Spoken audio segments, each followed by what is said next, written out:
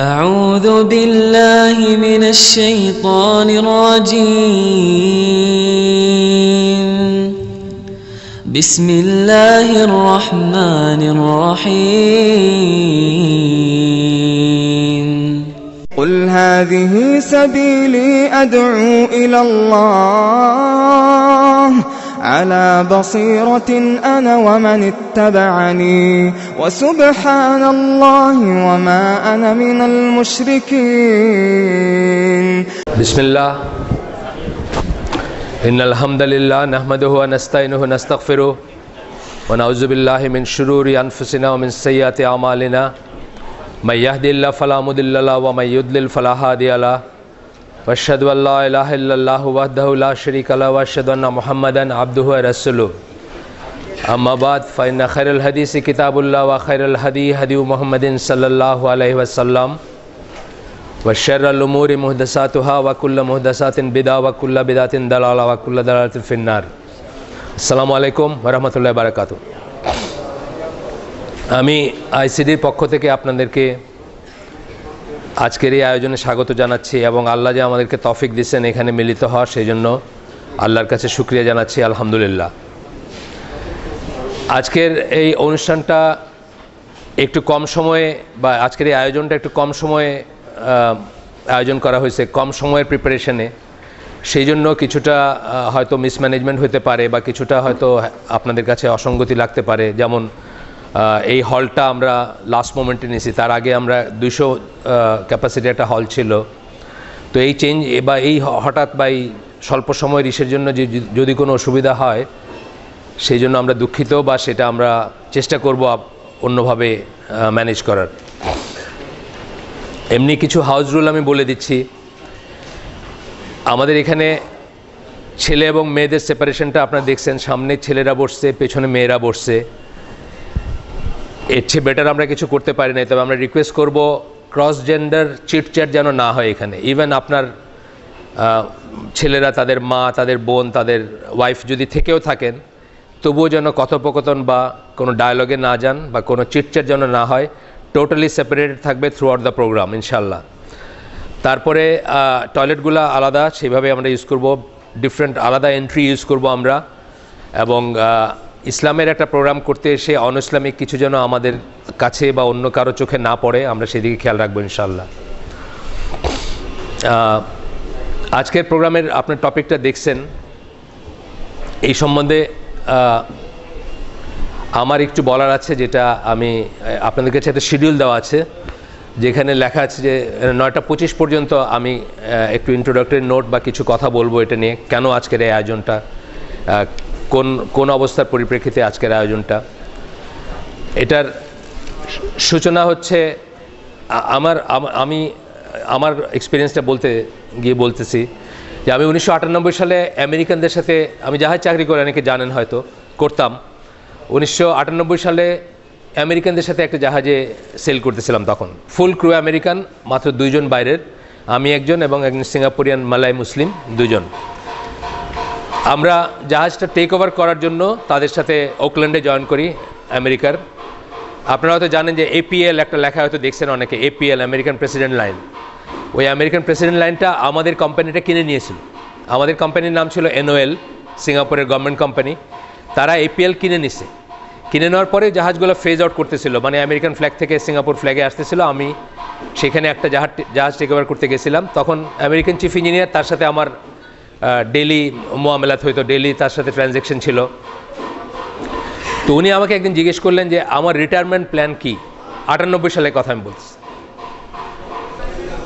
উনি আমাকে জিজ্ঞেস করলেন, আমার রিটায়ারমেন্ট প্ল্যান আছে কি না কী প্ল্যান আমার রিটায়ারমেন্ট আমি বললাম যে, আমাদের তো কোনো রিটায়ারমেন্ট প্ল্যান থাকে না। উনি বললেন যে, ওনার কোয়ার্টার মিলিয়ন ডলারের ই আছে ইন্স্যুরেন্স আছে। উনি ওনার ফিউনারেলের পয়সাটা পর্যন্ত রেখে যাবেন। আমার চেয়ে নয় দশ বছরের বড় উনি। ফিউনারেলের পয়সাটা রেখে যাবেন যাতে তার শেষকৃত্যটা ছেলেমেয়েরা করতে পারে। আমি বললাম, তো আমার তো এরকম কোনো প্ল্যান নাই, আমার বাবারও ছিল না। আমার বাবা যখন রিটায়ার করবেন বা মনে হচ্ছিল রিটায়ার করতে পারেন ইট ওয়াজ আন্ডারস্টুড এমনিতেই বোঝা গেছে যে উনি আমাদের সাথে থাকবেন। এটা কোনো কেউ জিজ্ঞেস করতে হয় না যে উনি কী করবেন, কোথায় থাকবেন, কোথায় যাবেন। আমার বেলায় তাই। আমারও কোনো রিটায়ারমেন্ট প্ল্যান নাই। আমি আমার ফ্যামিলির সাথে থাকব বা আমাদের দেশে সবাই তাই থাকে। তো তখন আমি তাকে সে খুব অবাক হলো। অবাক হয়ে বলল যে, এটা দুনিয়া এক্সিস্ট করে না আমি বললাম হ্যাঁ করে কারণ আমাদের বাবা মারা তোমাদের মতো তাদেরকে নিয়ে ব্যস্ত ছিলেন না। আমার বাবা কখনো হলিডেতে যান নাই। কখনো বেবি সিটারের কাছে আমাদেরকে রেখে ইউরোপে, আমেরিকায় যান নাই। ডে ওয়ান থেকে আমাকে কটে রাখেন নাই। আমার মা আমাকে নিয়ে শুইছেন। আমাদের পাঁচটা ভাই বোন প্রত্যেককে নিয়ে যখন যার ছোট বয়স তাকে নিয়ে ঘুমাইছেন, তাকে নিয়ে শুইছেন, তাকে দুধ দুধ পান করাইছেন।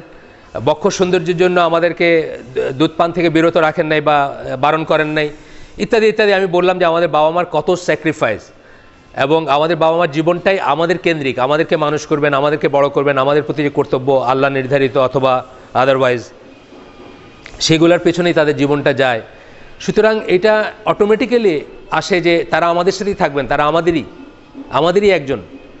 কিন্তু তখন আমি বুঝি নাই যে আমাকেও এমন একটা দিন দেখে যেতে হবে আমারই জীবনে, যে আমাদের বাবা মারা বা আমাদের বয়স্করা যে হোমে থাকতে শুরু করবেন বা করছেন, এটা একটা খুব নিষ্ঠুর রিয়েলিটি আমি ইউনিভার্সিটি লাউডারি স্কুলে পড়তাম, ওই স্কুলের ফার্স্ট ব্যাচের ছাত্র আমি।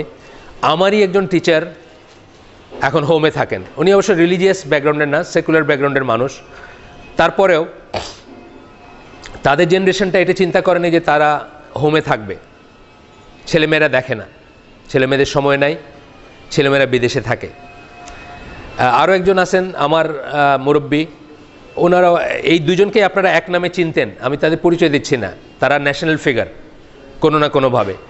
আরেকজন মহিলা আছেন, নিজের জুতার স্ট্র্যাপটা পর্যন্ত পড়তে পারেন না, কিন্তু তাকে একটা অ্যাপার্টমেন্টে পৈতৃক অ্যাপার্টমেন্টে তার ছেলেমেয়েরা রাখছে।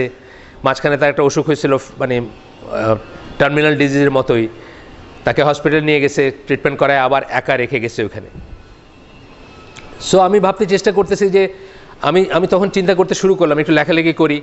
একসময় আমি লেখালেখিতে লিখছি যে এটা তো আমাদের জিনিস না, এটা আমাদের হবার নয়। কিন্তু এখন দেখতেছি হচ্ছে, কেন হচ্ছে এটা আমি চিন্তা করতে চেষ্টা করছি, কেন আমাদের এর- এরকম সময় আসছে?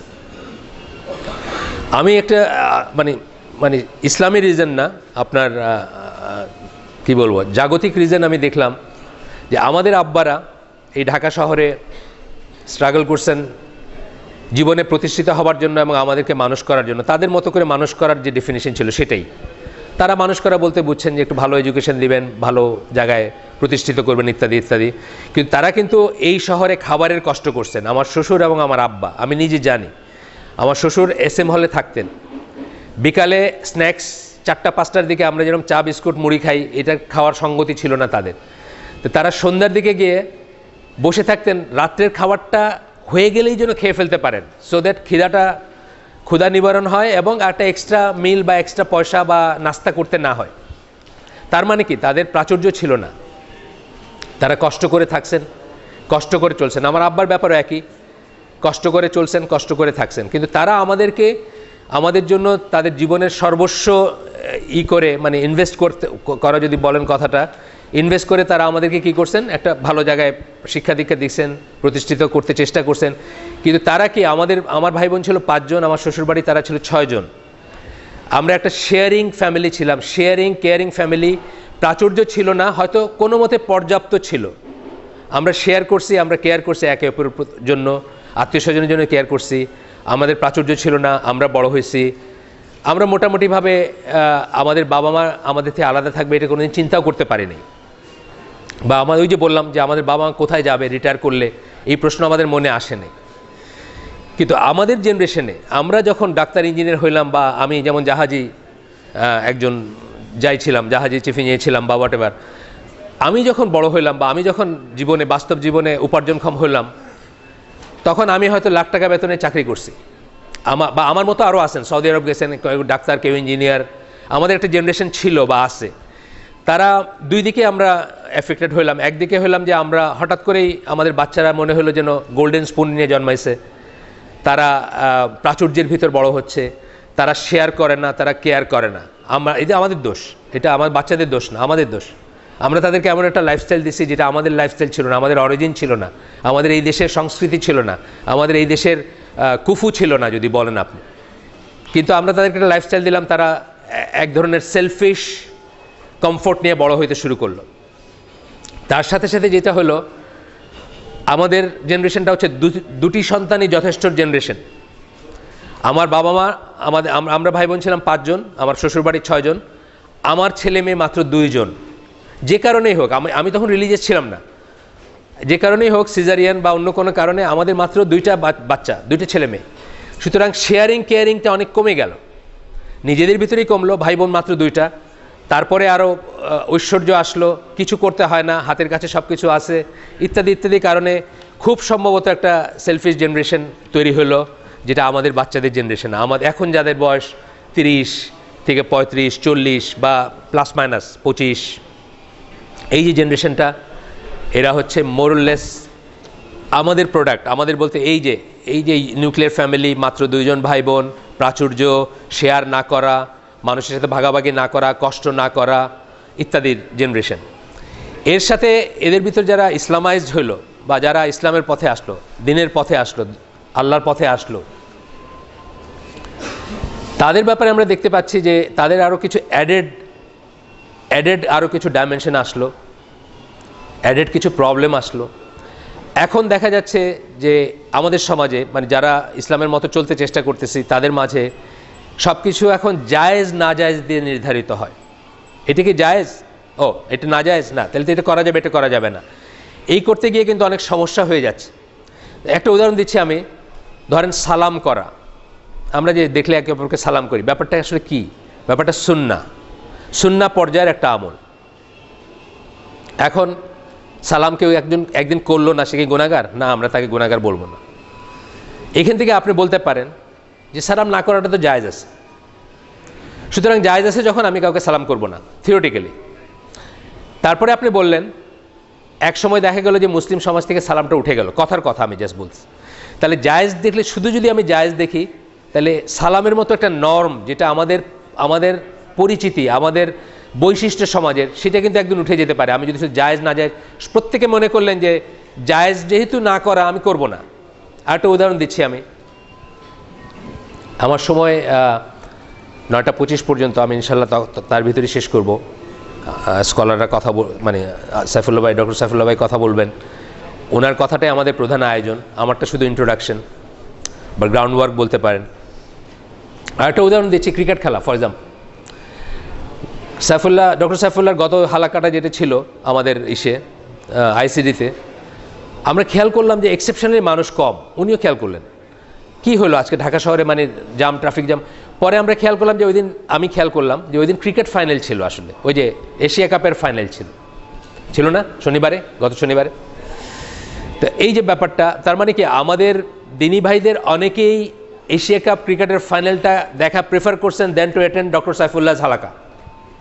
এখন যদি আমাকে জিজ্ঞেস করেন, ক্রিকেট খেলা জায়েজ কি না জায়েজ ক্রিকেট খেলা বলতে যদি বোঝা যায় যে একটা ব্যাট, একটা বল, দুইটা বাচ্চা ছেলে, দশ, বারো, একজন বল করতেছে একজন ব্যাট করতেছে, এ অফকোর্স জায়জ অফকোর্স জায়েজ।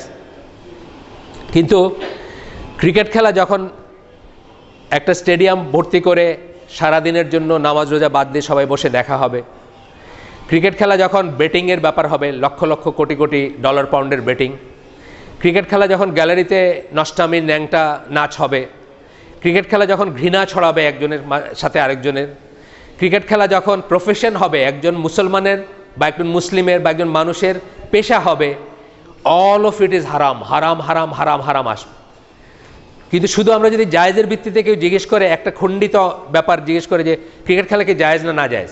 ক্রিকেট খেলা কি কি বলবেন আপনি? হ্যাঁ ক্রিকেট খেলা জায়েজ, ওই লেভেলে জায়েজ, একটা বল এবং একটা ব্যাটের ব্যাপার যদি হয়। তাহলে শুধু জায়েজ না জায়েজ দিয়ে সব কিছুকে আমাদের নির্ধারণ করা উচিত না। যদি হয়, যদি আমরা করি, শুধু খণ্ডিত একটা ভিউ দিয়ে যদি আমরা পৃথিবীকে দেখি, জীবনকে দেখি, সমাজকে দেখি, তাহলে দেখা যাবে যে আমাদের অনেক কিছু কলাপস করে যাবে। আমরা সবাই একটা হাদিস জানি এতে বলা হয়। এখানে যারা আছেন মোরল্লেস আমি মনে করি যে সবাই জানি হয়। এটা হচ্ছে সেই তিনজন মানুষের কথা যারা একটা গুহায় আটকায় গেছিল, আপনারা জানেন। এবং তাদের গুহার পাথর, একটা পাথর এসে তাদের গুহার মুখটা বন্ধ করে দিয়েছিল তখন তারা ই করল যে ডিসাইড করল যে তাদের উত্তম আমল জীবনে যেটা করছে, যেটা আল্লাহ যদি একসেপ্ট করে থাকেন, তার উসিলায় তারা আল্লাহর কাছে এই অবস্থা থেকে মুক্তি চাবে। আমি জিসটা বলতেছি, হাদিকে হাদিসের টেক্সট না তখন কি করল তারা, একজন বলল যে সে তার বাবা মার জন্য, সে মেষ চড়াইতো, তার বাবা মার জন্য দুধ নিয়ে আসতো, ছাগলের হোক বা হোয়াটেভার সেই দুধ বাবা মাকে পান করানোর পরে সে ছেলে মেয়েদেরকে দিত বা বাকিরা ভাগ করে খেত ফ্যামিলি একদিন সে এসে দেখল তার বাবা মা ঘুমায় পড়ছে। এবং তার বাচ্চারা ক্ষুধার্ত ছিল, তারা কান্নাকাটি করতেছে দুধ বা খাবার জন্য। কিন্তু সে দাঁড়ায় থাকল যতক্ষণ তার বাবা মা ঘুম থেকে না না জাগলেন ততক্ষণ। বাবা মা ঘুম থেকে জাগার পরে সে বাবা মাকে দুধ পান করানোর পরে বাকি ছেলে মেয়েদের সাথে শেয়ার করল বা ওয়াইফের সাথে শেয়ার করল। এই আমলটাকে সে নিজের উত্তম আমল- হিসেবে গণ্য করে আল্লাহর কাছে চাইলো যে এইটা যদি আল্লাহ কবুল করে থাকেন বা এই আমলের আমলের উসিলায় আল্লাহ যেন তার আজকের বিপদ থেকে উদ্ধার করেন। এবং আমরা জানি পাথরটা ওয়ান থার্ড পরিমাণ সরে গেছিল। তার মানে আল্লাহর কাছে এটা অ্যাকসেপ্টেড আমল ছিল। তাহলে আজকের দিনে প্রেফারেন্স নিয়ে আমাদের এত চিন্তা কেন? প্রেফারেন্স নিয়ে আমাদের এত সংশয় কেন? যে ইফ ইট কামস এমন একটা সিচুয়েশন আসে যে আমাকে ডিসাইড করতে হবে, আমি আমার মাকে রাখব না, স্ত্রীকে রাখব। আমার এত সংশয় কেন প্রেফারেন্স নেই? এখানে আমি আরেকটা পয়েন্টে যাচ্ছি যে এই এই কথাটা আসছিল পয়লা মার্চ যে হালাকাটা ছিল। পয়লা মার্চ হালাকা ছিল মঞ্জুরুল্লাহি ভাইয়ের আইসিডিতে একটা প্রশ্ন করছিলেন কোনো এক ভাই। প্রশ্নটা এরকম ছিল যে একটা মায়ের কয়েকটা ছেলে আছে। এর ভিতর একটা ছেলের সাথে মা থাকতে প্রেফার করেন। কিন্তু এই ছেলের বউটা মায়ের সাথে থাকতে চায় না। বাবা অক্ষম, বাবার দেখাশোনার ব্যাপার আছে, এবং মার ইচ্ছা এই ছেলেটার সাথে থাকা। এখন সেই ছেলেটা কি করবে? তো মঞ্জুর আলী ভাই অনেক রকমের সলিউশন দিলেন, অনেক রকম সাজেশন দিলেন, এবং তারপরে একটা জায়গায় আসলো যে বউ কিছুতেই থাকবে না এখানে। এই মায়ের সাথে বউ কিছুতেই থাকতে চায় না। তখন আলটিমেটলি মঞ্জুর আলী ভাই বললেন যে, এটা কি কোনো প্রশ্নের ব্যাপার হলো যে, যদি এই চয়েসেই চলে আসে যে আইদার বউ বা মা, বউ ছেড়ে দেওয়া যায়, মা তো ছাড়া যায় না। এটা ছিল তার কথা। ওই দিন আমি প্রথম মার্চ ফার্স্ট মার্চের কথা এটা। ফার্স্ট মার্চে আমি ডিসাইড করলাম যে ইনশাল্লাহ আমরা এর উপর একটা প্রোগ্রাম করব। সতেরো তারিখ একটা গভর্নমেন্ট হলিডে সেই সূত্র ধরে আজকে আমরা এখানে। ফার্স্ট মার্চে আমরা ডিসাইড করলাম। সেকেন্ড মার্চে আমি সিলেট গেলাম। আপনারা যারা আমাকে চিনেন, জানেন আমি মাসে একবার যাই, কখনো দুইবারও যাই। সেকেন্ড মার্চ রবিবার আমি সিলেট গেলাম, সকাল এগারোটায় বাড়ি পৌঁছালাম, রাত্রে সোয়া নয়টায় আমার মা মারা গেলেন। আমার ওই মা সাতত্রিশ বছর আগে একটা নিউরোসার্জিক্যাল অপারেশনের জন্য পার্শিয়ালি প্যারালাইজড হয়ে যান। তারপরে তিনি একটু একটু ধরে ধরে হাঁটতে পারতেন, একখান থেকে আরেকখানে যাইতেন। আস্তে আস্তে আস্তে আস্তে ডেটোরেট করতে করতে শেষ কয়েক মাস একেবারে লিটারালি বিছানায় এবং সেমি কনশাস বা আনকনশাস ছিলেন। আমাদের বাড়ির খাবার ঘরটা ছিল, খাবার টেবিলটা ছিল আমার মায়ের শোবার ঘরে। রিজন হচ্ছে আমার মা দেখতে পছন্দ করতেন যে তার ছেলে মেয়েরা বা ছেলেরা খাচ্ছে, খাইলো, তার সামনে খাইলো, তার প্রেজেন্সে খাইলো, কি খাইলো তিনি জানতে চেষ্টা করতেন, বুঝতেন। এক দুই বৎসর না সাতত্রিশ বৎসর আমরা আমাদের এই মাকে ভেজিটেবল মনে করি নাই। আমরা আমাদের এই মাকে মাথায় তুলে রাখছি যেটাকে বলে। এই মাকে না বলে আমি এবং আমার বাচ্চারা, আমার নাতিরা পর্যন্ত ঘুমাইতে যায় নাই কখন।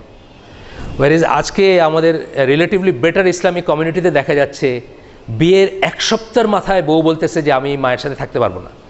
আমার রাইট আছে to be to to stay alone আমার রাইট আছে, আল্লাহ আমাকে রাইট দিছেন, আমি একা থাকতে পারি, আমার একটা সংসার থাকতে পারে, আমার একটা স্পেস থাকতে পারে। প্রশ্নটা হচ্ছে, ছেলেটা কি করবে? বউয়ের রাইট আছে, আমরা সবাই জানি, আমরা বুঝতেছি বউয়ের রাইট আছে, কিন্তু ছেলেটা কি করবে?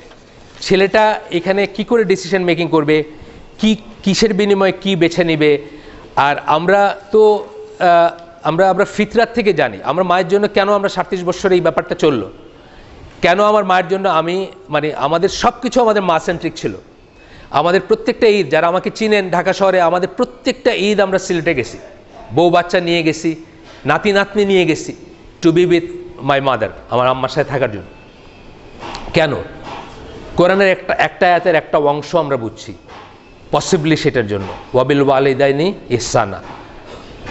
এটা একটা এটা একটা কৃতজ্ঞতা, কৃতজ্ঞতার বলতে পারেন পে ব্যাক বলতে পারেন। কৃতজ্ঞতা ভিত্তিক পে ব্যাক যেটা আমি আগে বলছিলাম আমেরিকান ওই চিফ ইঞ্জিনিয়ারকে যে আমাদের বাবা মা না আমাদের জন্য যা করেন, সেটার একটা পে ব্যাক হচ্ছে এটা।